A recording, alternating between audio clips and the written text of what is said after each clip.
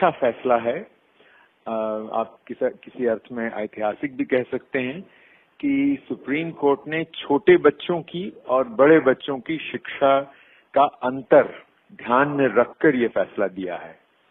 आमतौर पर हमारे यहाँ लोग सोचते हैं कि अगर किसी ने ट्रेनिंग कर ली है तो वो किसी भी स्तर पे पढ़ा सकता है। सुप्रीम कोर्ट का फैसला ये साफ़ बताता है कि प्राइमरी स्तर की शिक्षा एक अलग तरह का शिक्षण मांगती है। शिक्षण यानी पेडागोजी यानी कि जब आप बच्चों से पेश आते हैं, बच्चों को गणित या भाषा या पर्यावरण के बारे में बताते हैं तो प्राइमरी स्तर के बच्चों को बताने के लिए एक विशेष प्रकार का प्रशिक्षण चाहिए।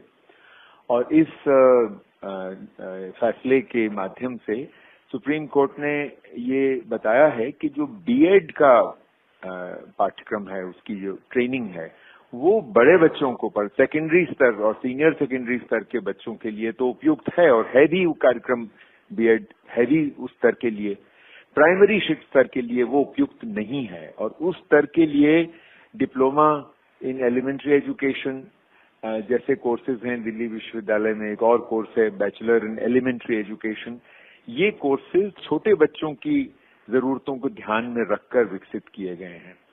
और सुप्रीम कोर्ट का जजमेंट इस बात को पहचानता है, एक तरह से रेखांकित करता है। आप ठंडे दिमाग से सोचें तो सुप्रीम कोर्ट का